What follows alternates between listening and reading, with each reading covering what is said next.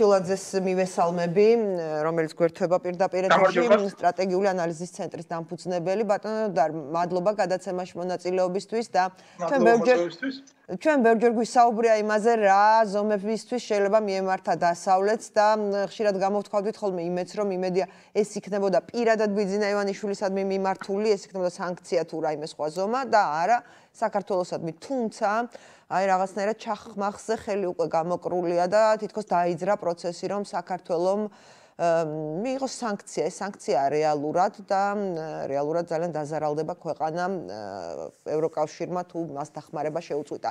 რამდენად სერიოზულია ეს 7 ევროპარლამენტარის ინიციატივა მოწოდება და მსურვილი რომ საქართველოს მიმართ უკვე ძალიან კაცრი მიდგომა შემოიღოს ევროკავშირმა.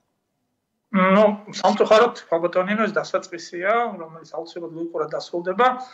სანქციეს არ არის უბრალოდ არსებული დახმარების პირობითობაა და მე შესაძლოა შეწყვეტა ყოველთვის ესე იწყება მოლდოვაში ესე დაიწყეს პროცესი თავიდან იწყება ახლა სამწუხაროდ ქვეყანა ზარალდება ამას ვერ გავექცევი წინ ძალიან რთული ამ ეტაპზე გაყო ბიზნესმენიშვილი და საქართველოს ასე ვთქვათ პასუხისგებლობა რამდენად კიდე ისინი ლაპარაკებიან მას როგორც სახელმწიფო წარმომადგენელს მაგრამ პირად სანქციებმა ნიშნავს სხვა გზა ჭირდება. ეს არ არის ადგილი გზა ჭირჭირობით ყოველ შემთხვევაში ევროპის მხრიდან ამერიკას ხანერად მოქმედებს იქ შემოუცე მოხდეს შევა დიდი ხანი არ მოხდეს არ ვიცით მაგრამ ეს რომ პირველი ნაბიჯი გადაიდგა და ეს ხმამაღლა გაცხადა უკვე ყველა ფრაქციის წარმომადგენელმა პრაქტიკულად ევროპარლამენტში რომელიც საკუთარ ქვეყნებში საკმაოდ მნიშვნელოვან როლს თამაშობენ იქაური პოლიტიკის ფორმირებაში.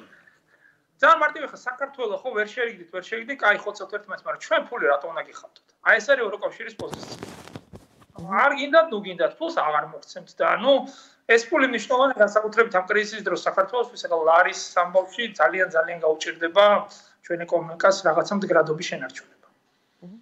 რა გაგზელება შეიძლება მოყვეს რეალურად ოცნება თავს იმშვიდებს იმით რომ ეს მხოლოდ 7 ევროპარლამენტარის პოზიციაა და რეალურად ამ ტიპის გადაწყვეტილებები უნდა მიიღოს მაგალითად ევროკომისიამ და პრინციპში მარტივი პროცესი არ არის ხო ასეთი გადაწყვეტილების მიღება იქ ბევრი ბიუროკრატიული რგოლი უნდა გაიაროს ევროკავშირში ასეთი გადაწყვეტილებები ასე მარტივად არ მიიღება იქნება ამიტომ არის ოცნება შვიდად და არხეინად როგორც ვფიქრობ არხეინად არის ოცნება მართალი ხართ რომ მარტივად არ მიიღება, შეიძლება დრო დაჭirdეს, მაგრამ ევროპული პოლიტიკის სპეციფიკა ისაა, რომ დაიწყება ეს პროცესი, აუცილებლად მივახოლმე ბოლომდე თუ ის მიზეზები არ მოიშალა, რომლის გამოც ეს პროცესი დაიწყო. შესაბამისად, დღეს ეს მიზეზები არ არის. ყველაზე დიდი საფრთხე ხარ, რაც ყო ერთ-ერთი ჩემი აზრით კარტი რაც აქვს ქართულ ოცნებას, სათამაშო ის რომ რაღაც დათმობებზე წავიდეს. მაგალითად, ეს იქნება ძალიან მარტივი რომ გამოუშვან მელია თუ შეძლებენ, მაგრამ ეს უჭირს ძალიან შიდა პოლიტიკური, რომ კიდევ უფრო ადვილია მათთვის, თქვა იგივე პლებისციტის ზარჩევა.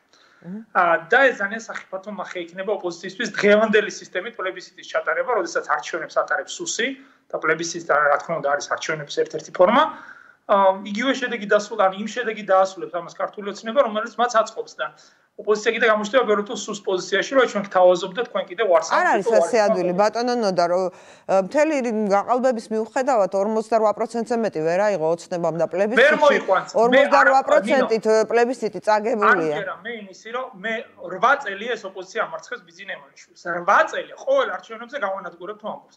ყოველ არჩევნებზე ძალიან წყნარად გაყალბებებით ფულით მოსყიდვებით იგებს ბიზინა იმაშვილი. ეხა ამ ილუზიებში არ უნდა შევიდეთ, რომ ეხლა პლებისციტი დანიშნოს. ამ სისტემით ოპოზიციას ეკნება სერე. ამ სისტემით იქნება ძალიან დიდი შეცდომა რამეს ასო. პირველ რიგში უნდა შეაცვლოს სისტემა. თუ სისტემა არ შეიცვალა და თუ სახელმწიფო უშიშროების სამსახურმა ჩაატარა ისე არჩევნები თავისი კრიმინალები, თავისი ფული და თავისი მითი, არანაირი კარტები არ აქვს ოპოზიციას. განსაკუთრებით იმის ფონზე, რომ არის ძალიან დიდი ნეჰილიზმი და პლებისციტი იქნება დამატებითი, ასე ვთქვათ, არჩევნები, რომელზეც ხალხის ხალხის უმეტესობას მისვლა დაეზარება. ამიტომ სამუშაოა ძალიან ბევრი დასავლეთთან, რომ ორი პაკეტი დაიდოს ერთად. როგორც იყო თქვა ამ 6 პუნქტში და რომელიც არ შედგა, რომ სისტემის ცვლილებებთან ერთად მოხდეს, ასე ვთქვათ, ახალი არჩევნების ჩატარება.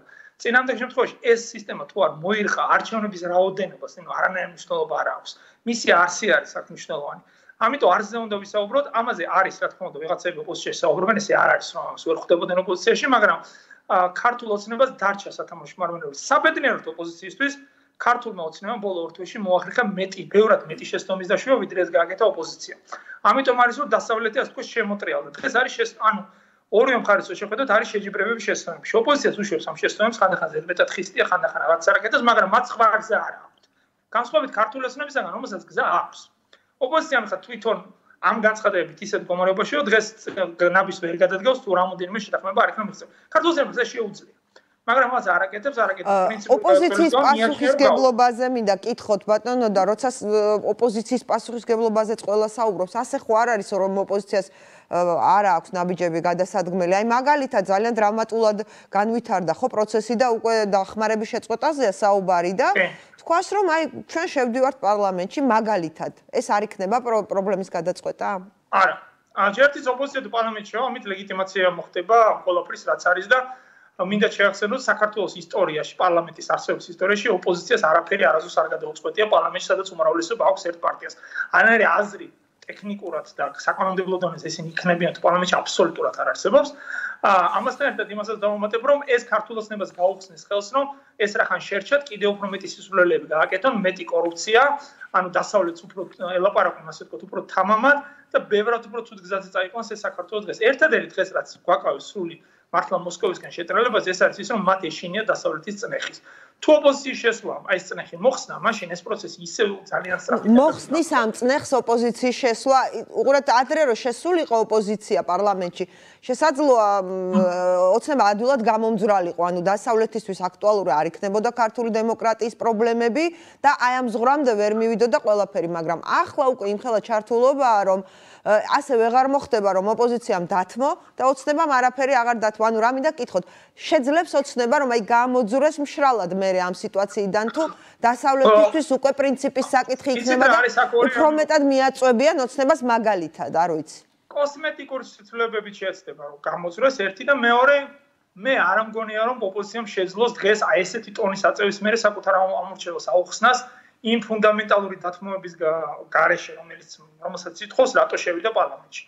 ევროკავშირთან დახმარების შეწყვეტის შესაძლებლობა ეს მიზეზი ვერ იქნება და ამას ვერ აუხსნი ხალხს. ეს ფული ხალხამდე მაინც ძირითადად მაინც არ მიდის და როცა ჩამოდის ამ ფულებს თავის ბიზაშულებზე ანაწილებენ ქართულოსნებად. ახლა მეტი ქთამის შესაძლებლობა იყოს ქართულოსნებას. ამიტომ შევიდეს ოპოზიცია პარლამენტში, მე აქ ვერ ხედავ სამორჩეულობო მომხიბლელობას და პირიქით საკმაოდ დამაზიანებელი იქნება ეს ოპოზიციისთვის. დიდი მადლობა გადაცემაში მონაწილეობისთვის ბატონო და ნოდარ ხარშულაძე იყო ჩვენი სტუმარი